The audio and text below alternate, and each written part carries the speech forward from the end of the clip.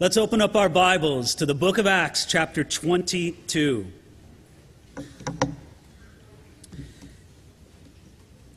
Sometimes teaching the Bible is, um, is more difficult than other times. Sometimes when you teach the Bible, you really have to unravel a complicated text. But there's other times, and I thank the Lord for times like that, when the text is just so bold, so straightforward, so dramatic in its content that as a preacher, you just have to throw it out there and let it be what it is. And I think everybody can grab a hold of it. And that's just the kind of text that we find ourselves with here, beginning at the book of Acts, chapter 22. So, Father, bless your word to us this morning.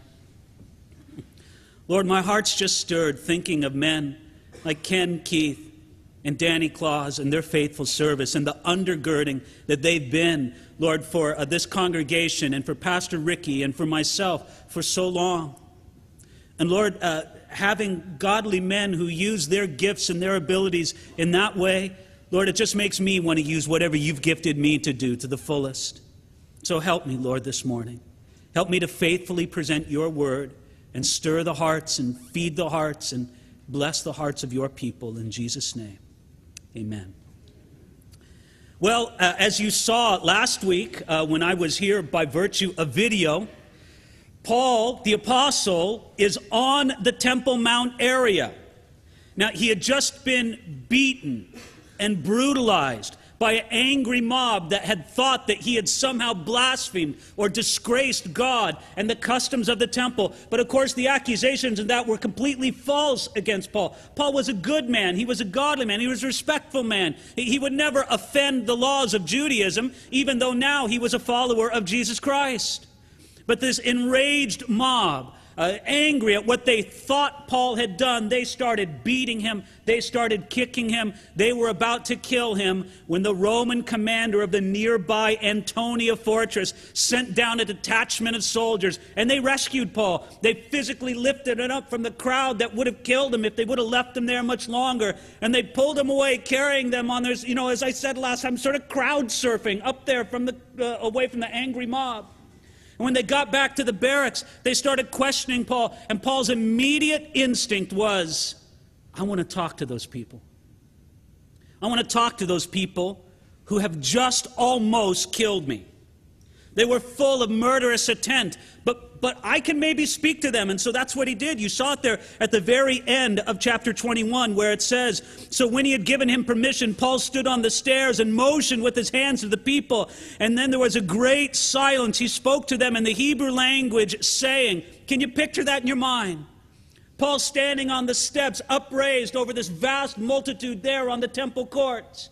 And they're angry and they're seething and they're shouting and they're yelling. Maybe they're throwing things at him. But what he does is he motions with his hands and he speaks to them in Hebrew, actually Aramaic of that time.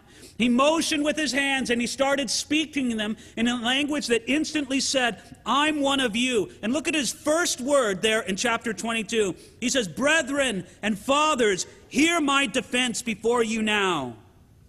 And when they heard that he spoke to them in the Hebrew language, they kept all the more silent. Then he said, Now, it's an awesome scene, isn't it? Listen, if there's anything more striking, more stirring than an angry mob that's full of noise and shouting, when that mob grows instantly quiet, what a drama to the situation, right? They're hanging on every word. They heard him speak in Hebrew. They heard him say the first word, brethren. Oh, yes, you just tried to kill me, but I call you brethren. I'm one of you. I have something to say to you, getting their attention with the wave of his hand, with the forceful projection of his voice going down over that great multitude. He says, Please hear my defense before you now. I'm going to explain myself to you. I'm going to explain to you who I am and what my background is and what it is that you thought you were trying to murder me over. And then the crowd kept all the more silent. And I can just imagine when Paul heard that crowd go silent that his heart leapt inside of him. Now, again, you have to understand a little bit of the psychology of the Apostle Paul. Paul had a burning And I'm not exaggerating when I say burning. He had a burning desire to see his fellow Israelites saved. He really wanted to. Matter of fact, later on in the book of Romans, he's going to write it so boldly. He says, Brethren, I wish that I could be accursed so that they could be saved. I don't think I could say that, but Paul could.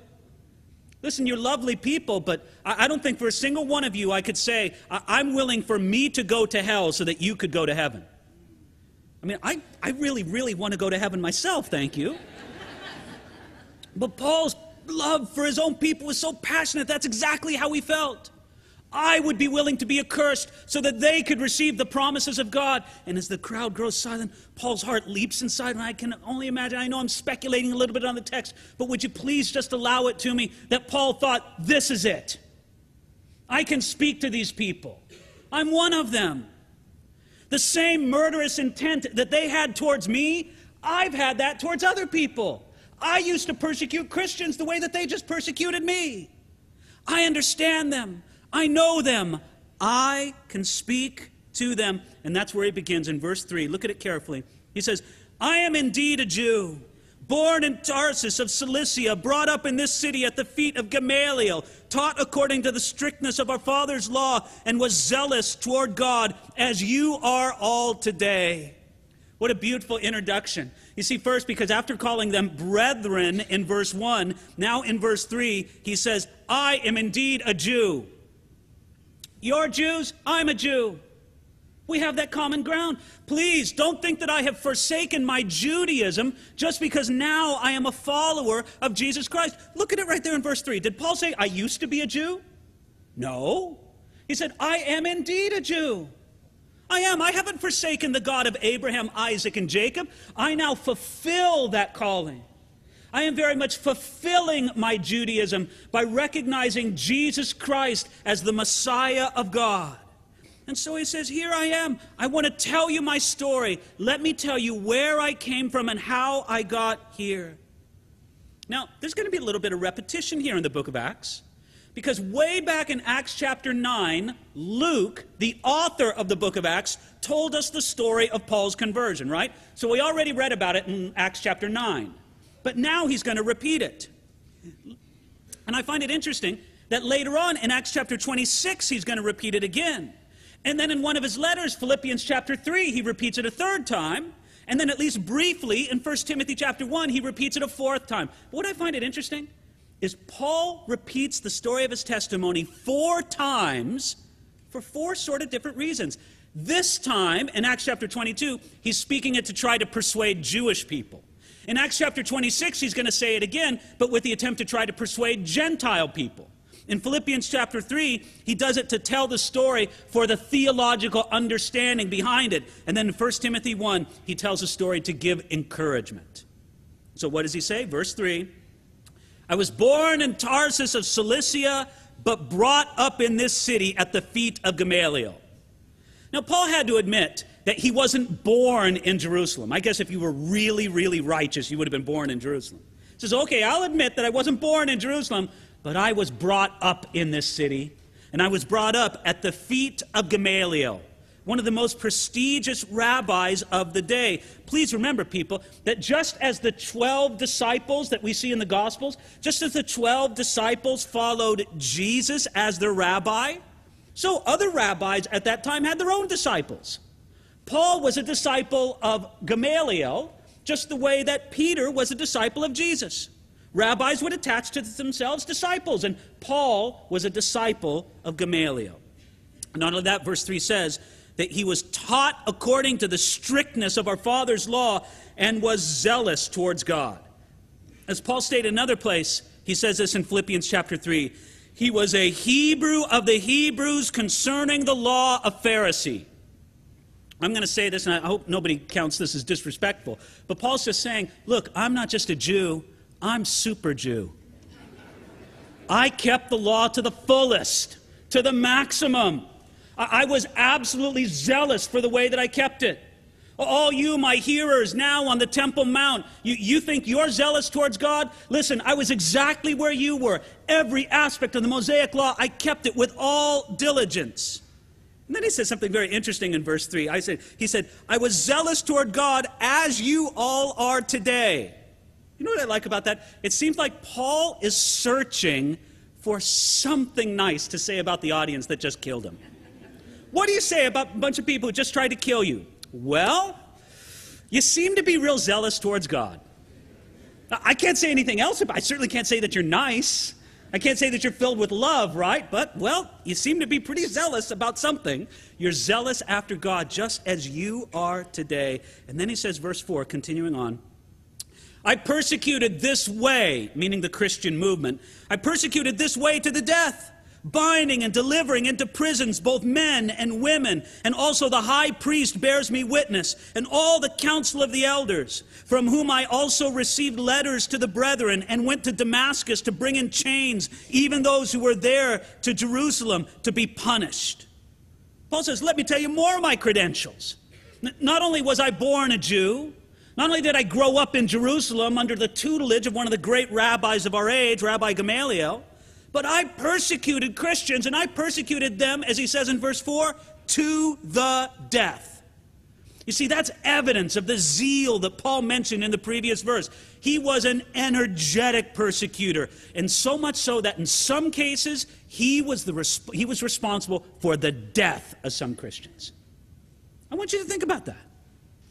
There were Christians alive at that time who could look at the Apostle Paul and say, he murdered my husband. He murdered my father. My father was a follower of Jesus Christ, and that man, Saul of Tarsus, who we know as Paul the Apostle, he murdered him. But listen, as Paul communicates this to the crowd, there's a very strong meaning here, right? That crowd had just tried to kill Paul, right? Now, what does Paul say? He says, You know what? You guys tried to kill me, but I succeeded in killing other followers of Jesus. Now, that had to be a surprising news to many people in the crowd, right? They're saying, Whoa, I never knew this about the man. I knew this man and I heard the false accusations against him, but, but I didn't know that he had actually killed Christians before his life was transformed. He continues on in verse 4. He says, binding and delivering into prisons both men and women. He didn't kill every Christian he met. Some of them, he just bound them, and imprisoned them, but he wasn't sparing either. He wouldn't do it just to the men, he even did it to the women. He's trying to show how unsparing and committed he was to his work of persecution. And it was also officially sponsored. Did you see that in verse 5? He says, The high priest bears me witness, and all the council of the elders whom I rece- from whom I received letters. Hey, if you doubt this, ask the high priest. If you doubt this, ask anybody who was on the council of the elders. They'll back me up. They know I was this kind of passionate persecutor of the followers of Jesus. So much so that he says in verse 5 that he went to Damascus to bring in chains even those who were there. Paul was so energetic in his persecution of Christians that, that the Christians in Judea and Jerusalem were not enough for him. He said, This Christianity thing's starting to spread, and we got to put a, a, lid on this. So I'll go to Damascus and try to get after the followers of Jesus there. Now, in all of this, friends, don't you see how clear the message is that Paul wanted to give that angry mob? Here's the message Paul wanted to deliver to them I understand why you attacked me. I was an attacker once also. I understand where you're coming from. Now, please get this. At this point, Paul had been a Christian. He had been a follower of Jesus Christ for more than 20 years. 20 years. Yet he could still relate to people who were not followers of Jesus Christ. And sometimes I get a little bit worried about this in the Christian community at large, let's say just in our own city. Look, it's a wonderful thing to have your life transformed by the power of Jesus Christ and come into the community of the followers of God, right? That's good, it's right, it's how it should be. But sometimes our presence in the community of the follower of God, we allow that to separate ourselves from any contact with the world. So, you know what? We can't even relate to somebody who does not yet believe. We, can't, we don't even know what's going on in their life. We've forgotten what it was like for us before our lives were transformed by the power of God. Paul never forgot that. Paul was always ready to say, Listen, I remember what it was like when I was not transformed by God's power, and I want you to be transformed. So let me tell you how God did it in my life. He's laying that whole groundwork. So now he continues on in verse 6. He says, Now it happened as I journeyed and came near Damascus at about noon, that suddenly a great light from heaven shone around me, and I fell to the ground and heard a voice saying to me, Saul, Saul, why are you persecuting me? So I answered, Who are you, Lord? And he said to me, I am Jesus of Nazareth, whom you are persecuting. And those who were with me indeed saw the light and were afraid, but they did not hear the voice of him who spoke to me. So I said, What shall I do, Lord? And the Lord said to me, Arise and go to Damascus, and there you will be told all things which are appointed for you to do. And since I could not see for the glory of the light, being led by the hand of those who were with me, I came into Damascus. Do you understand this whole setting? Everything was great in Paul's life. Now, I'm sure he was tortured inside. But at least from an outward perspective, here he is, successful young rabbi, energetic, up and comer in the world of Judaism of his day, a member of the council, uh, has audience with the high priest and other leaders. He's a dynamic, active man, so zealous that he's out taking the persecution show on the road, so to speak. And what happens in the midst of it all? Jesus Christ interrupts every part of that by shining a light from heaven so bright that it makes Paul fall down. Now, I remember way back in Acts chapter 9, we discussed the vital theological issue of whether or not Paul was actually riding a horse when this happened. And we determined that there is no actual scriptural evidence of a horse. So if you want him to be on a horse, fine. If not, it doesn't really matter. He was knocked to the ground. And from the ground, he heard that voice. What was the voice? I am Jesus of Nazareth, whom you are persecuting. Those words, I am Jesus of Nazareth, whom you are persecuting, coming from heaven, that disrupted everything in Paul's world. Because right there, right then, he understood who it was he was fighting against. He knew that Jesus was alive and he knew that Jesus was God. And you know what he knew? He knew that he was wrong. I'm wrong. Listen, if Jesus is alive and can speak to me from heaven, if Jesus is in heaven and not accursed of God, if Jesus is alive and his voice reaches down for me to, if Jesus confronts me and asks me, Why are you persecuting me? Then you know what? It means I have been completely wrong in my rejection of Jesus, wrong in my considering him to be accursed by God because he was sacrificed on a, a crucifix, uh, wrong in my estimation that these Christians should be persecuted because they're dangerous followers of a dangerous belief. I'm wrong, wrong, wrong. And you know what? That was the greatest day in Paul's life. The day he found out he was wrong. I wonder about that. Do you remember the day when you saw that you were wrong? You used to think this one way about God. Maybe you believed every crazy idea that came into your head about God, right? Because there are a lot of crazy ideas out there about God, are there not? Until one day you realized, you know what? I'm wrong, and this is right.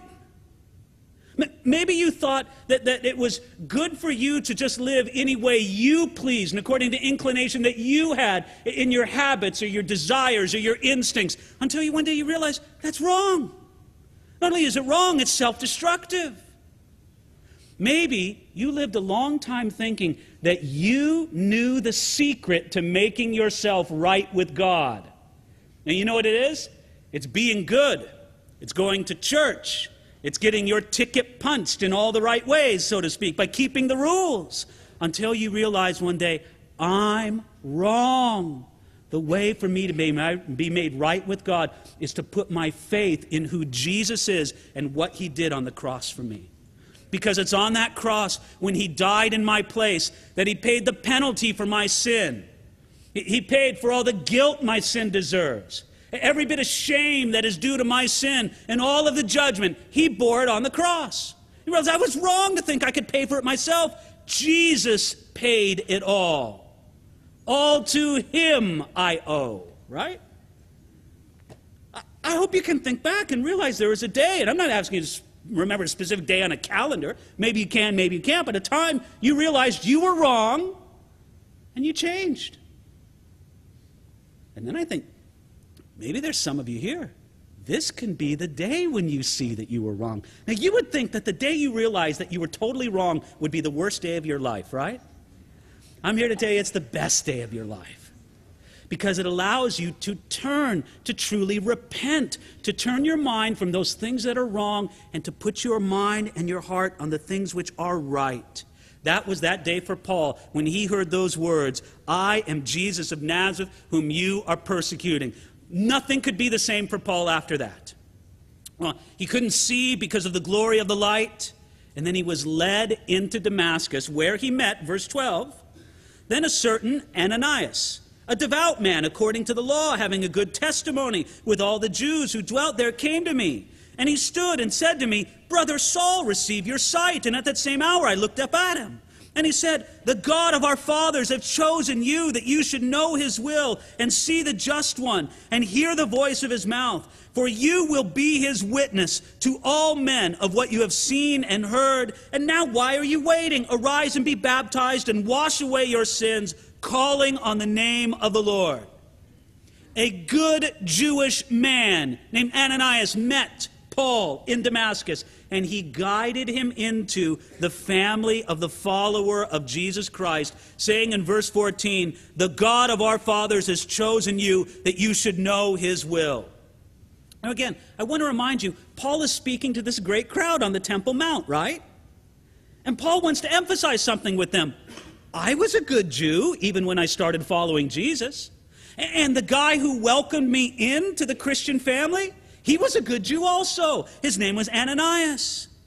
Paul wanted them to know that he still served the God of his fathers. He had not rejected Judaism. Instead, many in Judaism had rejected God as he was revealed in Jesus Christ. And then he says something wonderful in verse 14. Did you notice? He says, The God of our fathers has chosen you that you should know his will and see the just one and hear the voice of his mouth. Now, Paul, with those words, was explaining why he did his work of traveling about, of telling people about who Jesus is and what Jesus did for them, especially his work on the cross, and why Paul went around trying to establish communities of the followers of Jesus Christ everywhere. He did it because God had chosen him, and he had to answer that call of God. I see something else pretty wonderful there in Acts chapter 22, verse 14. It's sort of a wonderful capsule of the duty of everyone who's called by God. Right? Are, are, you chosen by God? Has God called you to follow him? Then look at it here. Here's what you need to do. Look at Acts chapter 22, verse 14. First of all, you are there to know his will. Do you know his will? What, just know his will for your life, for you to love him, for you to serve him. Don't you think that it's his will for you to praise him today? For, for you to cast your cares upon him. Know his will. Number two, to see the just one, to see Jesus. Put your eyes, put your focus on him. I wonder how sad it is for so many Christians. They live their lives if they never behold Jesus that they have, if you want to call somewhat of a Christless Christianity. Oh, they're, they're focused on this ceremony or that ceremony or this custom or that custom, but there's very little focus on the beauty and the greatness of Jesus himself. And then finally, what's it say? Not only to know his will, not only to see the just one, but then thirdly, to hear the voice of his mouth. That's his word. God speaks to you today through his word. Give attention to his word. And those are three easy to grasp things that you can just take away and say, I want to know His will. I want to see Jesus. I want to hear His word. That's what He can do in my life. Now, Paul fulfilled this and he left Damascus. Now look at what happens in verse 17. Again, I want you to have the picture in your mind. He's speaking to this great multitude on the Temple Mount, right? He's gathering breath again. He's excited that they're listening. They're hanging on every word. They're interested in what he has to say. So now, verse 17. Now it happened when I returned to Jerusalem and was praying in the temple that I was in a trance and saw him saying to me, Make haste and get out of Jerusalem quickly, for they will not receive your testimony concerning me. Now, actually, This happened two or three years after Paul's conversion. Yes, he left Damascus, and two or three years later, he made his way to Jerusalem. And what did he do in Jerusalem? Verse 17 tells you that he went to the temple to pray. Now, this is a very important thing for Paul's audience to hear, right? Hey, I was a follower of Jesus, but I still prayed in the temple. I was a follower of Jesus, but I was not against the forms of Judaism. Jesus fulfilled those forms. I don't have to deny them now. So he there, he's in the Jerusalem, he's praying at the temple, and he wanted the crowd to know that even though he trusted in Jesus, that he wasn't against Jewish ceremonies or rituals. But what happened? You saw that at the end of verse 17. He says, I was in a trance, and I saw him saying to me, now, Paul had a very impressive vision of Jesus in the temple, did he not? In a trance, he saw Jesus saying something to him. Now, you know what just absolutely impresses me about this? I know it's a little side note, but I guess I can take it here. We got enough time for a little side note this morning. Listen, Paul doesn't speak about this experience of hearing from Jesus and seeing Jesus in the temple in any of his letters. He mentions it this one time about 20 years after it happened. Now, let me just say how that would contrast with me. If I had a vision of Jesus in the temple and he spoke to me, pretty soon you'd see uh, David Guzik, author of the book, How I Met Jesus in the Temple. My vision of Jesus in the temple. I'd introduce myself to people. Hi, do you know that I had a vision of Jesus in the temple? He spoke to me there. I mean, don't we have this tendency, whatever our spiritual experience is, man, we want to pump it. We want to milk it. We want everybody to know. If Paul wouldn't have mentioned it uh, on this sort of almost off the cuff mention here, speaking before this mob there on the Temple Mount in Jerusalem, we would have never knew it happened. Because you know what? Paul, at the foundation, wasn't about relating his spiritual experiences, though he sometimes did. And where it was appropriate, he certainly did. More so, he wanted to lift up who Jesus was and what Jesus had done for him. But look, don't miss what Jesus told him in this vision. Look at it there in verse 18. He says, Make haste and get out of Jerusalem quickly, for they will not receive your testimony concerning me. Now, that was probably a surprise to Paul. He probably thought, Jesus, hello, I'm the perfect one to speak to these people in Jerusalem. I used to live here, I know them. I know how they think. I was a persecutor too. I'm perfect to preach to them. Why don't you let me hang around in Jerusalem and just do this? I, I don't think maybe you had that one right, Jesus. Can we discuss it a little bit more? Verse 19. So I said, Lord, they know that in every synagogue I imprisoned and beat those who believe on you. And when the blood of your martyr Stephen was shed, I was also standing by, consenting to death and guarding the clothes of those who were killing him. I love this. This is Paul's gentle objection to the warning Jesus gave him.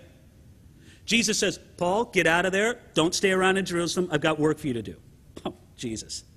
Are you really aware of what's been going on, Jesus? You know, whenever you feel like you got to inform Jesus about the facts of the matter, you, you might be wrong, right? Just Jesus, Jesus, don't you remember I was the guy that persecuted and they'll really connect to me and they'll know and I'm really, Jesus, I, I, believe I'm the perfect guy to minister to these people because the blood of your martyr Stephen was shed and I was also there standing by consenting to the death of them. And, and you know, it's just funny how this runs in us, this tendency to want to explain to Jesus why he's wrong. You know, Jesus, you might be mistaken about this. Let me just explain it to you. I'll run it through you one more time, Jesus, just, just for your sake. And look at what the response of Jesus was to Paul in verse 21. Then he said to me, Depart, for I will send you far from here to the Gentiles. Jesus wasn't going to discuss the issue with Paul, right? Paul, I told you to get out of Jerusalem. You're saying, well, no, maybe I should stay. I'd be perfect to minister to these people. I love them. No. Depart. Leave town. He didn't agree with Paul's response. Jesus knew that it was not Paul's time and place to preach to the Jewish people the way Paul wanted to. Instead, for his own safety, 20 years before Paul was preaching this very message, Jesus told Paul to depart from Jerusalem. Why? You saw that in the end part of verse 21. For I will send you far from here to the Gentiles. You see, when God touched the life of Paul in Damascus, He was told that he had a call to preach to the Gentiles. So these words of Jesus were not really news, they were more of a confirmation of what he already heard. But Paul had such a heart for Jerusalem, such a heart for the Israelite people, that he wanted to stay in Jerusalem and preach there. But Jesus said, No, I'm making you the apostle to the Gentiles, and so I want you to depart. Now, I want you to get this really clear. Paul is explaining to that crowd that was listening to him, Hey, everybody, it wasn't my idea to go preach to the Gentiles. Jesus told me to. My preference was to stay right here in Jerusalem and just minister to my fellow Jews. But Jesus told me it wasn't my idea. He sent me to go out and to preach to the Gentiles. And are you following along in your mind's eye this word that Paul just says? And he says there at the end of verse 20, to send you far from here to the Gentiles. Now, verse 22 and they listened to him until this word. And then they raised their voices and said, Away with such a fellow from the earth, for he's not fit to live. Then, as they cried out and tore off their clothes and threw dust into the air. They're following an absolute silent, rapt attention. They're hanging on every word until he says one word. And what's that one word? Gentiles. The idea that Jesus commissioned Paul to go preach to the Gentiles absolutely offended them and blew their mind. That one word outraged the crowd because they thought that God's salvation could not be given to the Gentiles as Gentiles, but it could only be given to Jewish people. That mob listened carefully up to that point, but in that point, in their minds, they said, No, stop. Paul, we don't mind all this talk you do about Jesus. D- did they explode when Paul mentioned Jesus? No. D- did they explode when Paul mentioned his conversion? No, they didn't mind that. But they couldn't stand the idea that God might save the Gentiles in the same way that a Jewish person might be saved. Friends, do you understand that this is the core message or one of the core messages of the New Testament? Both Paul and the New Testament preaches it very strong. Here's the message you can come to God just as you are. Do you understand that? Right here, right now, you can come to God just as you are. You don't have to clean yourself up in order to come to God. Come to God and He'll clean you up. You don't have to take a bath before you take a shower. Just jump in the shower, He'll cleanse you. Jesus Christ will cleanse you. You can come to Him just as you are. You can come to Him as a Jew or a Gentile, as a foreigner or as a local, as high or low, as rich or poor but you must come to him through Jesus Christ. That's what God says. Now, the Jewish people of that day, for the most part, they didn't have a problem with Gentiles becoming Jews, but they were incredibly offended at the thought of Gentiles becoming Christians just as Jews became Christians, because it implied that Jews and Gentiles were equal and that they could come to God on the same terms. But you know what? They can.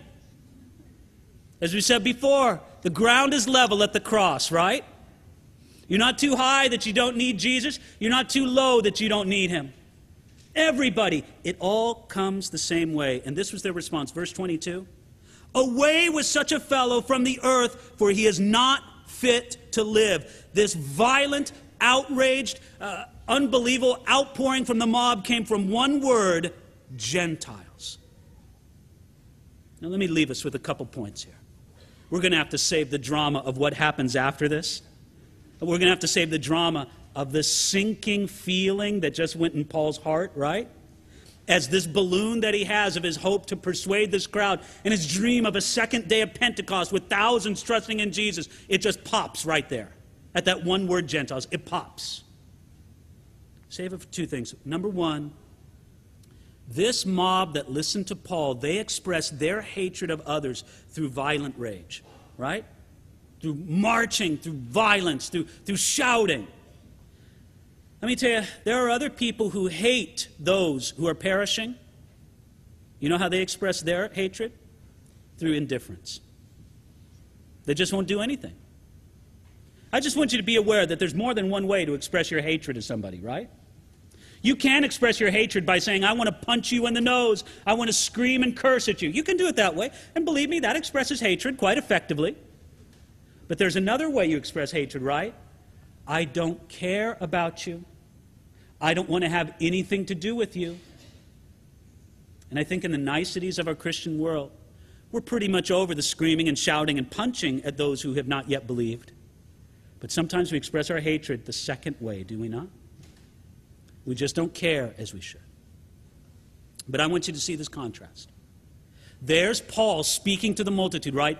His life was transformed, completely transformed. He was speaking to a bunch of people who had their lives who needed to be transformed, right? One man speaking to a multitude of thousands that needed to be transformed.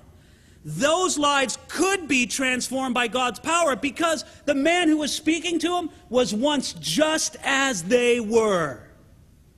And I think that made it all the more gripping for Paul.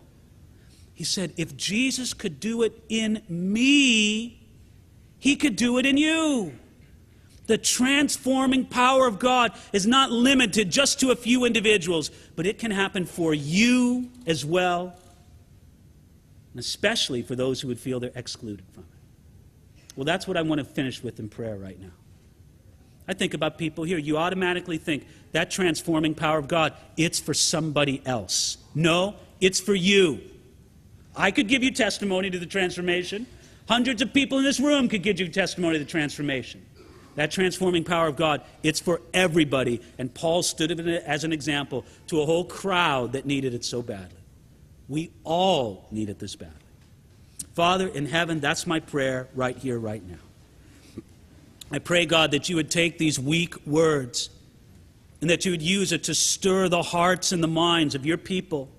Simply, Lord, simply, Lord, that they would receive the power that transformed not only the Apostle Paul, but Lord, count, countless millions since.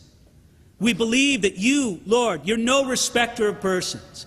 It's not like you love Paul more than you love any of us. And so now, Jesus, with open hearts and full of faith, we come before you now and we say, Transform us, Jesus. Change our lives.